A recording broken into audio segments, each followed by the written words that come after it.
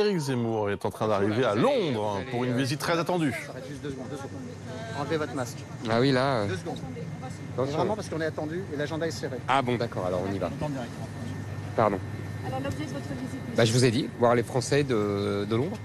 Il y en a 300 000 quand même, c'est pas rien. C'est euh, la quatrième ou la cinquième ville française. Voilà, c'est tout. Mais vous savez, tout, tout le monde vient à Londres euh, voir les Français.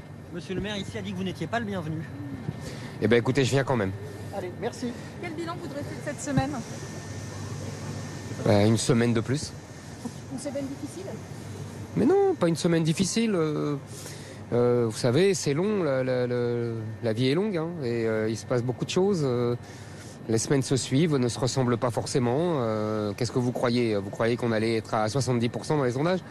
À monter à 1% par jour Mais et, et même les sondages, d'ailleurs, ça serait beaucoup plus. C'est beaucoup plus relatif que ça. Justement, une réaction au sondage, là, les derniers qui sont sortis Je, je, je vais rencontrer des gens là-bas, c'est tout, euh, pas spécialement des politiques britanniques. Vous êtes aussi Je viens voir des Français. Une réaction